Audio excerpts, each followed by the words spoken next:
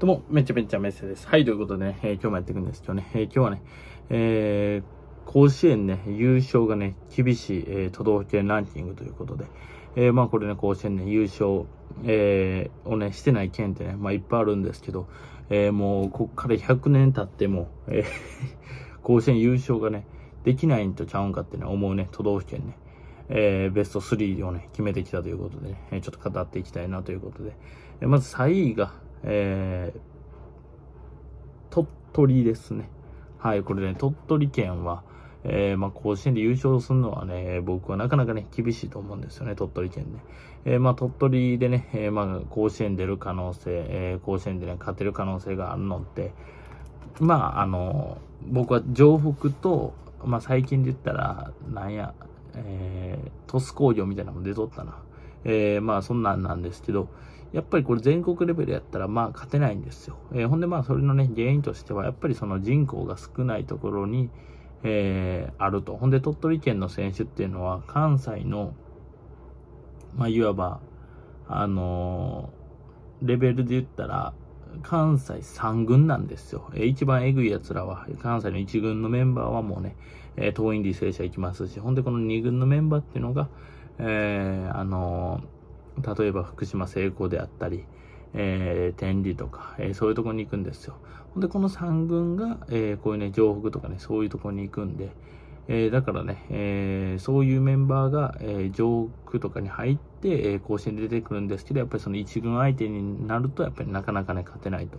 だからやっぱり鳥取勢が、えー、まあ、甲子園優勝するのはね、えー、なかなかね、えー、厳しいのかなと思いました。はい。で、えー、次なんですけど、えー、ランキング2位は、えー、甲子園ね、優勝できなさそうな、えー、届けランキング2位は、えー、宮崎県ですね。えー、宮崎県もね、ちょっとね、厳しいですよね。えー、延岡、えー、日南とね、あるんですけど、まあその高校はね、えー、確かに、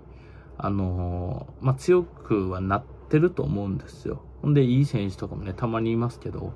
僕、これね、マジな話、あの、延岡やったかな、延岡高校が、あの、甲子園出た時に、えー、甲子園練習でね、あの、自分たちと合同練習みたいな感じになったんですよ。ほんで、それでね、たまにね、僕たちが対外試合、えー、まだ解禁してない頃に、だから選抜出場チームが2校ぐらい来たんですよ。ほんで、1校が岡山山陽で、ほんでもう1校がこれ、あの、宮崎のえー、延岡高校やったかな、多分。えー、ほんで、それでね、一緒に合同練習したんですけど、あのね、もうびっくりするぐらいね、あの、レベルが低かったんですよね、この延岡の。で岡山山陽とかのやっぱレベルを見ると、やっぱめちゃくちゃ高いなってね、思いましたし、やっぱこれが甲子園出るチームかって思ったんですけど、えー、この宮崎県のチームを見たときに、めちゃくちゃね、レベルが低かったんですよ。ほんで、その時に、あのー、関西の、え、チームが、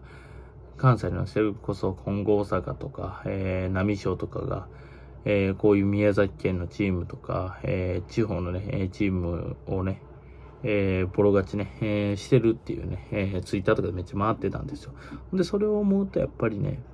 やっぱこういうね、宮崎県とかの選手がやっぱね、関西のチームに勝てんのってやっぱり無理やと思うんですよ。ほんで今なんて関西よりかね、関東、東北の方がね、勢いありますから、じゃあそれに勝てんのかって言われたらね、えー、なかなかね、厳しいと思うんですよ。だからそういう意味では宮崎県で、えー、まあ、いい選手が集まるとかにしても、やっぱりいい選手が集まるのって、やっぱ結局ね、え、関東とか、やっぱそういう選手が、えー、宮崎県に集まってとかないんで、だから、なかなかね、厳しいのかなと思います。まあ、これがね、沖縄とかやったら沖縄に地味にいい選手いますから、えー、可能性あるんですけど、この宮崎で、えー、人口も少ないですから、えー、環境もあんまり良くないっていうところで、えー、いい選手が出てくるかって言われたらね、えー、そうじゃないんでで、なかなかね、厳しいのかなと思いました。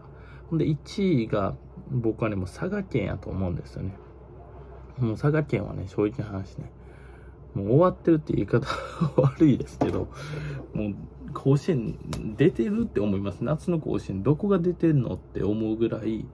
えー、僕知らないんですよね、えー、佐賀県の高校のイメージが。佐賀北とかかな。えー、他どこがおるかってもう僕浮かんでこないぐらいやっぱね、佐賀県って、えー、全然印象ないですし、ほんでやっぱりね、そんなね、強いイメージがないんですよね。で、これね、強いイメージがないだけやったらいいんですけど、実際ほんまにね、強くないんで、えー、やっぱり甲子園優勝ってね、やっぱり強くないとね、無理ですし、まあ当たり前のことですけど、やっぱりその奇跡とかでね、勝てないんで、えー、そもそもね、えー、この鳥取、宮崎、佐賀の投手レベルっていうのが、これ、140掘ったらもう最強ピッチャーなんですよ、ここでは。でも甲子園で言ったら140は、あの、ちょうどいい球なんですよ。だからこのね、なんか、違いをやっぱり分かっといてほしいなとは思いますね。だからやっぱこの鳥取、佐賀、宮崎県が、えー、甲子園優勝するっていうのは、えー、なかなかね、厳しいのかなと思います。まあ、他にもね、いろんなね、えー、県ね、え甲子園厳しいね、え都道府県で言ったらね、結構あるんで、えまだしてないとかじゃなくて、なんか、うわ、ここはもうずっとせえへんやろうなっていう県って結構あるじゃないですか。だからそういう意味でもやっぱりね、え甲子園優勝すんのってめちゃくちゃ難しいと思いますし、だから逆に言えば春夏連覇ね、えー、した、まあ、党員がね、春夏連覇とかはね、僕はね、えまあすごいですけど、まあまあまあ党員やしなってなるんで、あれなんですけど、やっぱりそういうね、こういう宮崎とか鳥取とか佐賀県の選手が全くね、甲子園で勝てないっていうね、話をした後に、やっぱりね、江南高校がね、えー、あの時なんか全員沖縄県出身で、春夏連覇ね、花島袋選手の時にしたっていうのは、マジでえぐいことやなってね、改めてね、思いましたね。だからまあそういう意味では、やっぱりね、えー、ちょっとね、話はそれるんですけど、あの当時の江南高校ってマジで最強やったなと思いました。はい、ということでね、えー、皆さんが思う、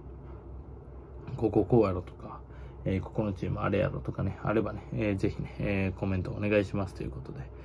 まあ僕がね、何が言いたいかっていうと、ほんまに、あのこういうね、田舎のチームで、え甲子園優勝すんのっていうのは、えかなり難しいのかなと、え思ったのと、えこういうね、えでもね、こういう宮崎県に、あの、山本由伸選手は多分高校あったんですよ。だからあの山本由伸選手の覚醒がね、もうちょいね、早かったら、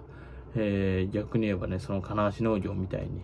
えー、なんかなんちゃら旋風みたいな感じでね、えー、ほんまに甲子園優勝ね、狙える年代におったのかなと、えー、思います。だからまあ鳥取佐賀県は、えー、なんかね、どえらい怪物を出さない限り、えー、甲子園優勝っていうよりかもう甲子園ね、ベスト8に入るのも、えー、なかなか厳しいのかなとはい、僕は思ってます。ということでね、えー、皆さんが思う、え意見とかね、えー、これこうやろうとかね、あればね、えー、ぜひね、えコメント欄によろしくお願いしますということで、え皆さんが思う、